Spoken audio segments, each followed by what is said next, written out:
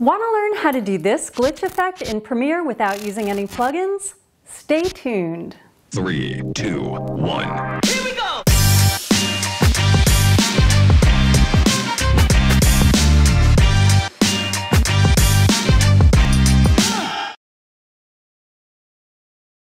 Hi and welcome or welcome back to DIY Film with Merle Becker, the channel where I help you make better videos. As always, stick around to the end of the video for today's bonus filmmaking tip. Okay, so you want to do some cool matrixy looking glitch with your text, but you don't want to go hunting for some third-party Premiere plugins. The good news is this is super easy to do in Premiere without plugins. So let's dive in. As always, I'm working in Premiere version 15.2, but if you have an older or newer version, yours may look slightly different. Okay, so I'm in Premiere, and I have a text layer here on video track 1. First, let's duplicate my text clip and put the copy on video layer 2 by selecting the clip and holding down Option on a Mac or Alt on a PC and dragging upwards. So now we have two of the same text clips, one on top of the other. Now, the way we're going to create the glitch is to simply modify only the top layer and leave the bottom layer alone. Then we'll cut back and forth between the two. So first, let's modify the top layer. You can use a few different effects to do this glitch, but my favorite is Wave Warp. So let's go to the Effects palette and do a search for Wave Warp. And when the effect pops up below, let's drag it to our top layer. So you see the text looks a little wobbly now, but for a techie looking glitch, we don't want these wobbly edges. So let's go to the Effects Control panel and find the Wave Warp section. And under it, change the wave type to square. Then let's change the wave height to 60 and width to 24. And let's change your wave speed to negative 15. So now we're going to cut up the top layer. And we'll take out sections so that we see the top and bottom layer intermittently. So to do the cut, let's get the razor tool from the Tools palette, otherwise referred to as the Cut tool, which is also shortcut C on your keyboard. And let's make a few slices in your top layer every few frames. By moving your playhead ahead four or five frames and making a slice. You really only want to go a few frames ahead at a time, like five or less. And you can move your playhead one frame at a time by using the left or right arrow keys on your keyboard.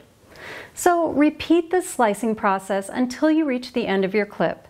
And since video glitches are somewhat random and erratic, you want to try to mimic this. And if you do your slices randomly, say three frames, then five frames, this will make your effect look a little more realistic. Okay, so now you have a top layer with a bunch of slices. And now we're going to remove every other chunk of text by selecting the Move tool here at the top of the Tools palette or shortcut V on your keyboard and highlighting every other clip, then hitting Delete. So now your timeline looks like this. And if we play it down, it looks kind of boring and basic. So we want to make it look a bit more random and erratic. And we do this by modifying every other video 2 layer clip so that it's moving in a slightly different manner. So let's go to the first one and change the direction of the glitch in the Effect Controls palette. Make sure you're in the Wave Warp section and change the direction to 0 on the first clip. Then we'll skip the second clip and go to the third one and do the same thing.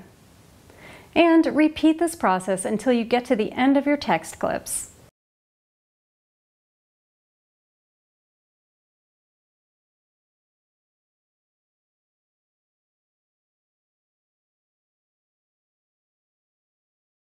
Okay, so the very last thing I'm going to do is to get rid of the bottom layer during the parts where it's glitching so that it's not showing through. And the easiest way to do this is to select all your clips on video layer 2 and drag them down over the bottom layer so that it overwrites it in those sections. And now if you play your timeline down, you've got a nice little glitch. And that's it. Remember, different fonts will glitch differently, so be sure to play around with various fonts and find the perfect one for your piece. All right, friends, let's do that tip. So now you've got a nice little glitch, but you know what would make the effect even better? That's right, the perfect glitch sound effect. It may be a subtle difference, but in my opinion, it makes all the difference. So do a little internet search for a royalty-free glitch sound effect and make your glitchy text that much more believable with the perfect sound. As always, if you found any of this helpful, please give the video a thumbs up, subscribe and hit the bell so you know when the next one is posted, and I will catch you next time.